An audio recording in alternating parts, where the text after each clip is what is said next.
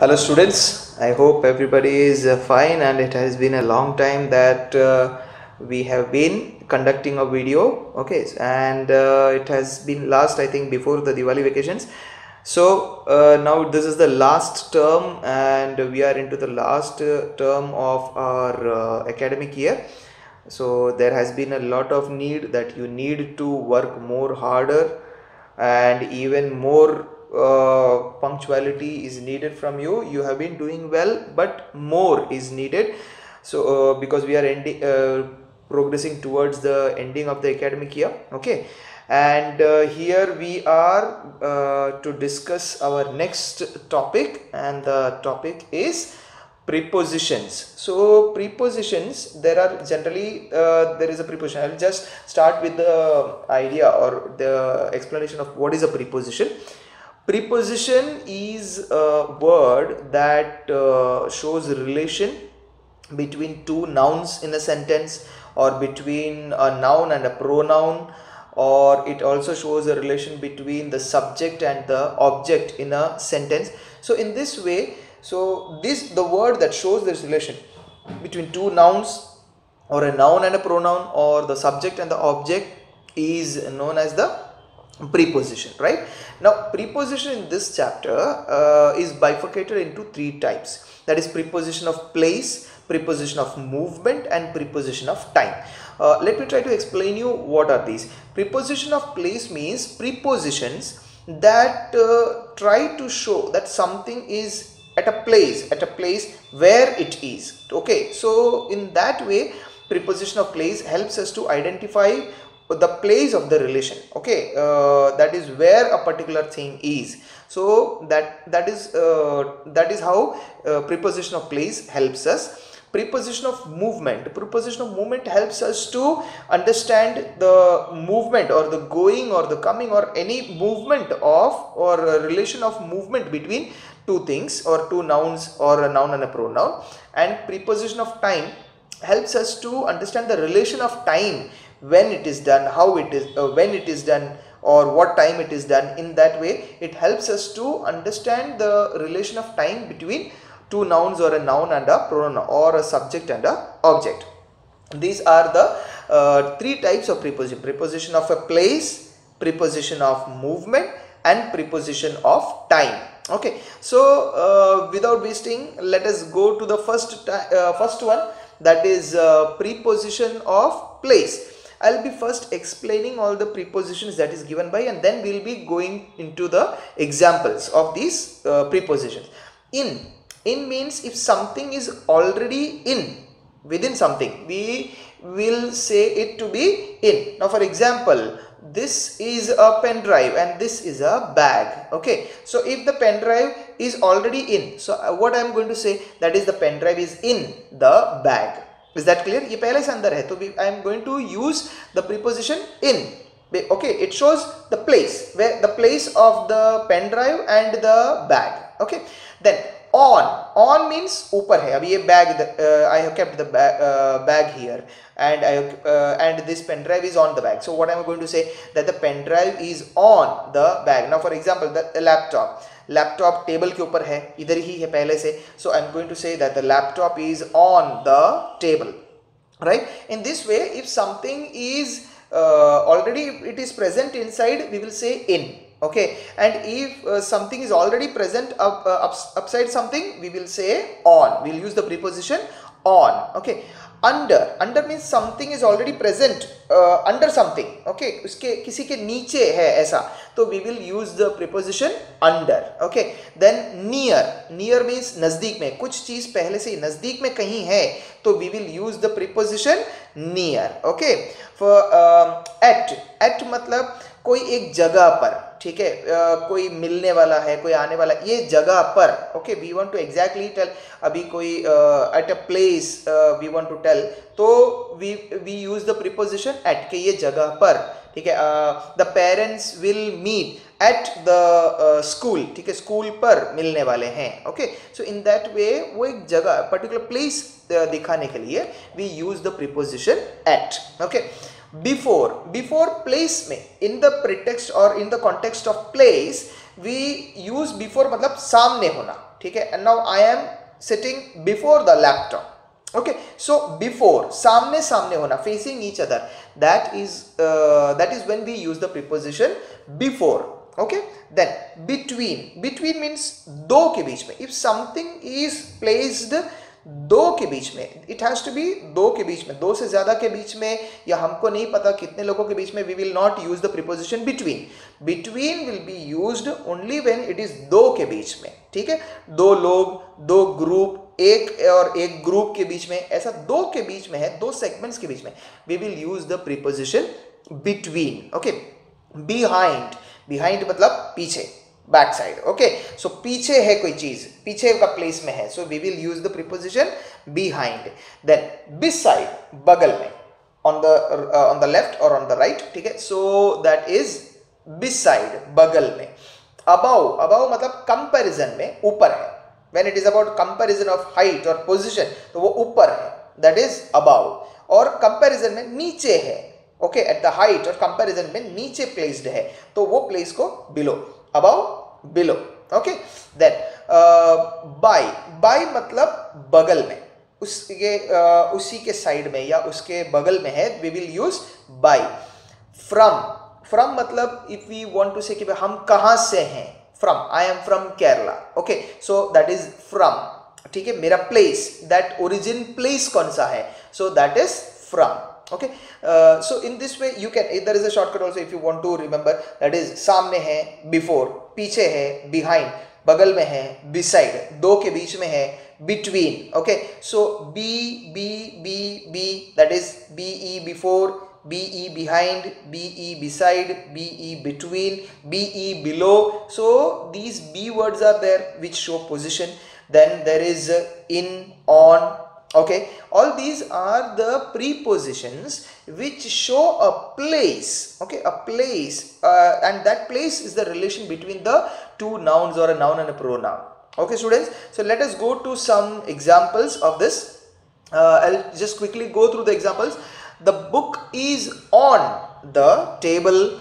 The refill is in the pin when it is already on or already in then, the accident took place at the cross road इस जगह पर okay accident कहाँ हुआ? Cross road पर हुआ। तो at the cross road then the camp was set up by the river camp कहाँ पे बनाया गया भाई? रिवर के बगल में by the river then I am from Kerala मैं, मेरा ओरिजिन कहाँ से है? तो that is from Kerala so I will say I am from Kerala then the dog sits under the table table है टेबल के नीचे. So we will call the the preposition used is under. The table. Rashid sits between Nitya and Mark. Now, again, two. दो लोगों के बीच में. नित्य mark बीच में है तो between. Rashid is, sits between नित्य and Mark. दो के बीच में. We need to sign before the manager अभी मैनेजर के सामने फेस टू फेस होकर हमको साइन करना पड़ेगा. So that is before before the manager सामने.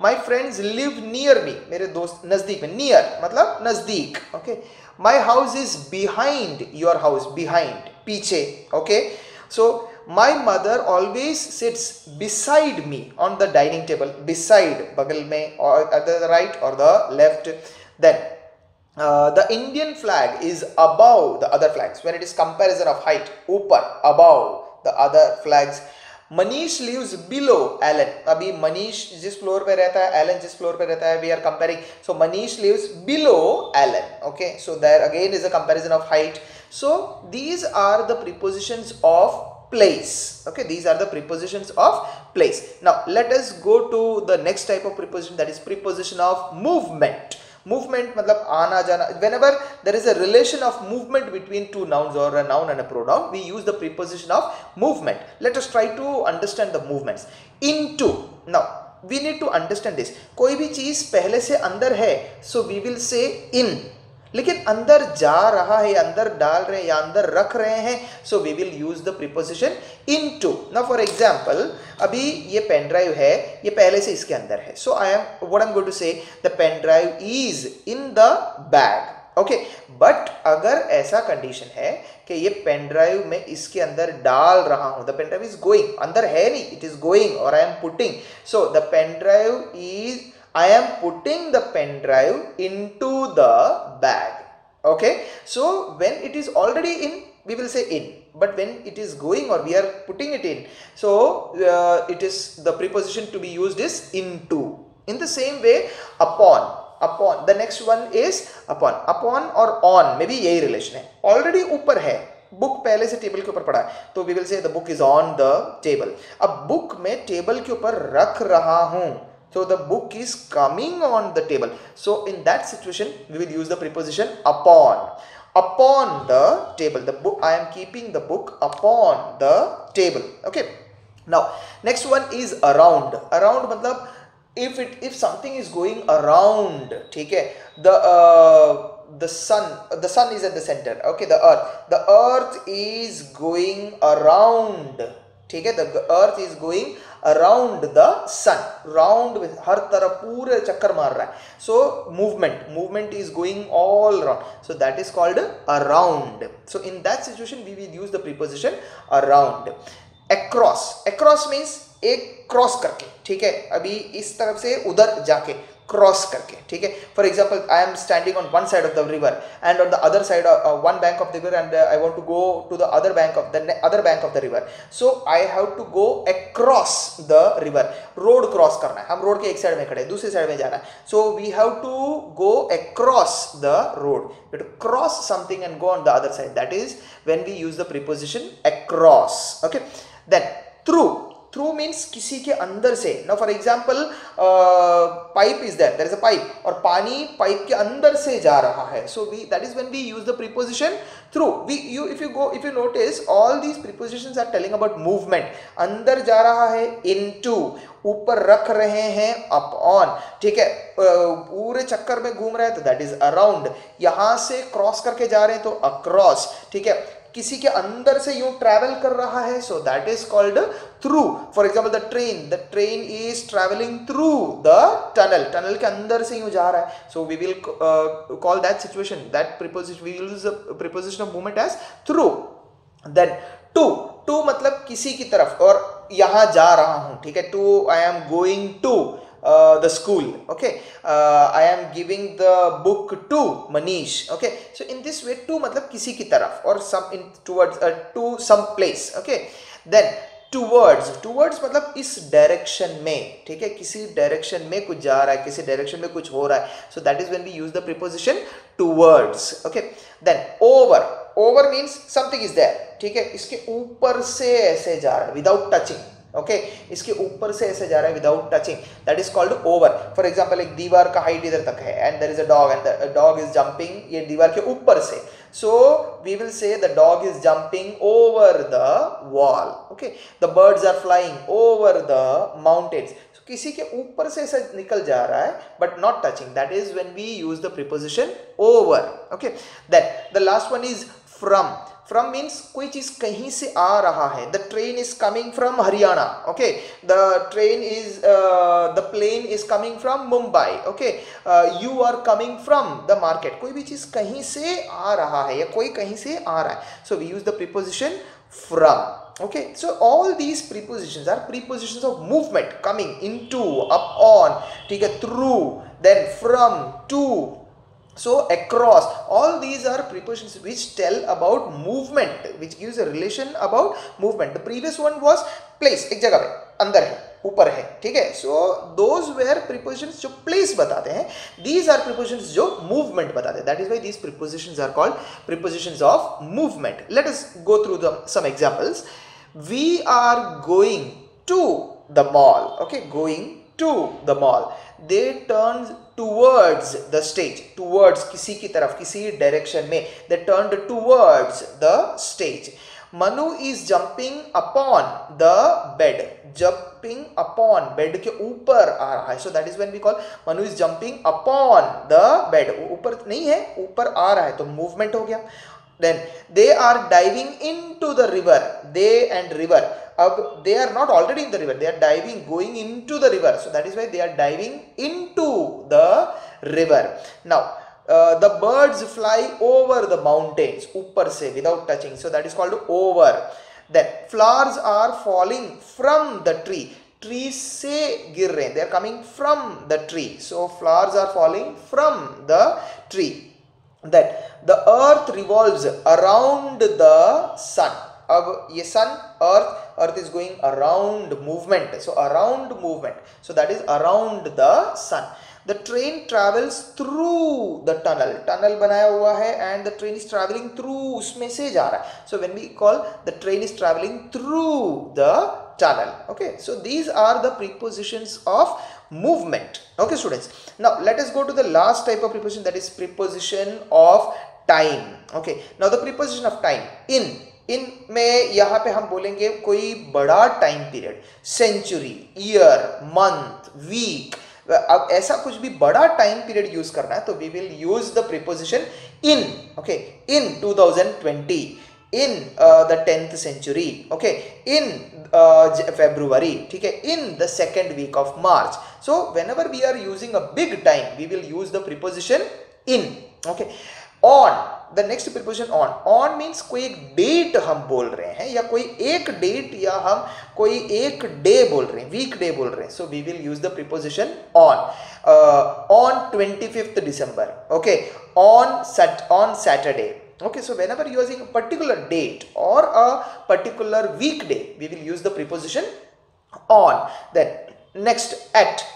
At मतलब पर्टिकुलर टाइम अगर हम बोल रहे हैं so if you are talking about a particular time at five o'clock at twelve o'clock so whenever we are talking about a particular time we will use the preposition at then after after मतलब किसी के बाद कुछ हुआ उसके बाद ऐसा हुआ so that is after okay then before इससे पहले वी हैड डिस्कस्ड बिफोर लेकिन the other before that we studied was it was सामने सामने होना पोजीशन के हिसाब से। हियर बिफोर मतलब टाइम कोई चीज़ होने से पहले होना so that is called before okay the next one is since now since and for students we need to understand since and for very clearly now since and for कब use होता है? We know that something is going on some activity is going on some act is going on from the past past में कोई एक time से ये act चल रहा है या ये कोई काम चल रहा है। ठीक है? तो सिंस और फोर दोनों इसी के लिए यूज़ होता है। लेकिन छोटा सा डिफरेंस है।